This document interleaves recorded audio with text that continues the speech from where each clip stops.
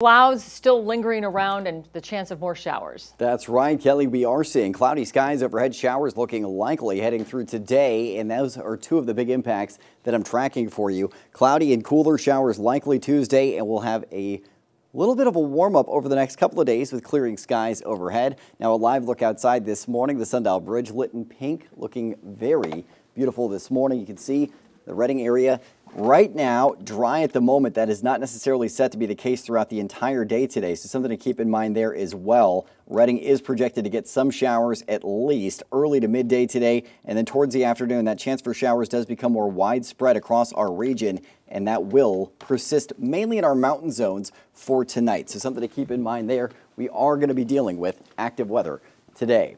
Temperatures in the upper 50s to mid 60s in the valley right now, 63 degrees in Redding, 64 for Chico and Oroville, 62 for Red Bluff. Just checked in with Willows, 59 degrees there. We're in the 50s in the foothills, 40s to 50s in our mountain zones. Wind out of the southeast and breezy in Chico specifically 18 miles an hour out of the southeast right now. Throughout the day today, winds gusting up to 25 miles an hour out of the southeast by around noon. Still seeing breezy winds 20 to 30 mile an hour gusts at 5 p.m. And then we do see winds shifting to become out of the west briefly this evening with 32 mile an hour gusts projected for Red Bluff at 9 p.m. tonight. We'll then see north winds over the next couple of days. Tomorrow, little breezy out there, winds up to around 20 to 25 miles an hour, a little stronger late Wednesday into early Thursday.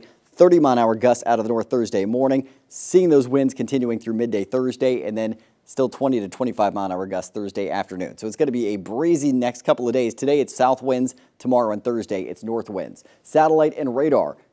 Seeing those clouds increasing across the valley overnight. So far, showers are spread across areas of Trinity and Siskiyou County zones as low pressure tracks inland across the Pacific Northwest today. That's what's bringing this cooler, wet, and unsettled weather to our region over the next 24 hours. And then after as that moves off to the east, high pressure builds in, driving the clearing skies a modest warm up on the way, and those north winds to return. So what we're seeing out there for today, satellite and radar to futurecast showers in the northern mountains in Shasta County at 8 a.m. Showers spreading inland through the valley by around noon, and then a chance for some scattered showers across the valley mid-afternoon into early this evening. And then after that, it looks like most scattered showers staying in our higher elevations and foothills, clearing out overnight for the valley with sunshine early on Wednesday. We'll then see scattered showers persisting in areas closest to the Oregon border, but that's about it. And following that, we're sunny on Thursday, but then clouds increasing again on Friday. Showers not looking too likely except for areas closer to the coast Friday evening for high school football watchers. A little shower activity possible Saturday. This is a little bit